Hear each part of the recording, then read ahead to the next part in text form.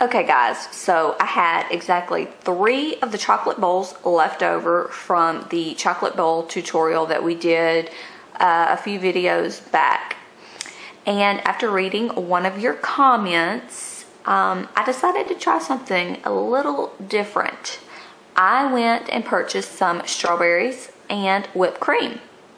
And we're gonna have some chocolate covered strawberries, but we're gonna put them in our chocolate bowl.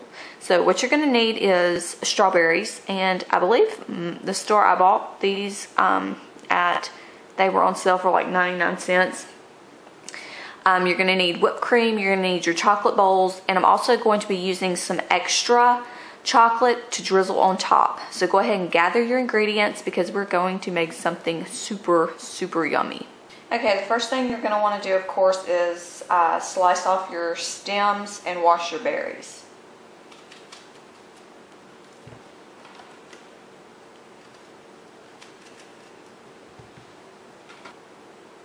I'm going to go rinse these and then we'll be ready to go. Okay, now this part is totally optional, but when I'm working with berries, um, like strawberries, I like to sprinkle a couple of uh, teaspoons of sugar on top, just because I like the, um, the berry juice that accumulates once you do that.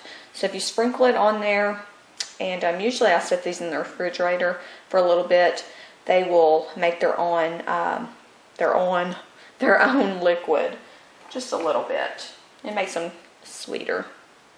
So I'm going to sprinkle um, just a, a, couple of teaspoons of sugar on top. I'm going to toss them just to get it even.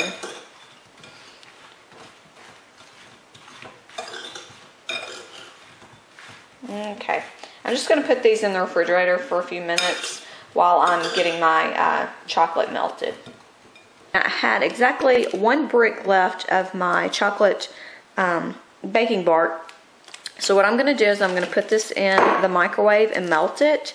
And then we're going to pour this into a Ziploc bag so we can pipe it onto our strawberries.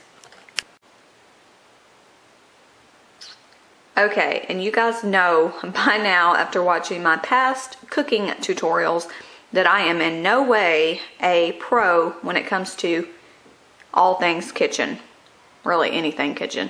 So I don't have as many fancy gadgets as uh, some of you might.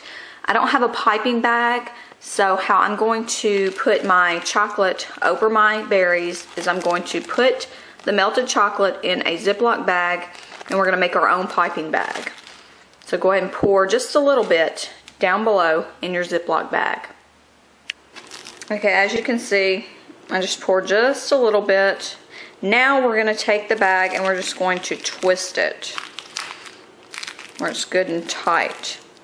And then what you'll need to do is snip Uh, just a tiny hole down here at the bottom and then you can pipe the chocolate onto your berries. Just need to assemble everything in our chocolate bowl. You're going to take your strawberries and we're just going to put them in the chocolate bowl however many you would like. Alright, that looks like a good amount. Then I bought whipped cream that I'm going to put on top. But I think I'm going to go ahead and add a little chocolate to uh, my berries first. looks so yummy. I'm going to lay that there for the next one. Now I'm just going to add some whipped cream.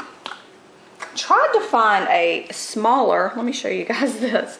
Tried to find a smaller thing of whipped cream and this is all I could find. This is 14 ounces, way huge. I don't even need that much. Okay, so let's go ahead and add the whipped topping.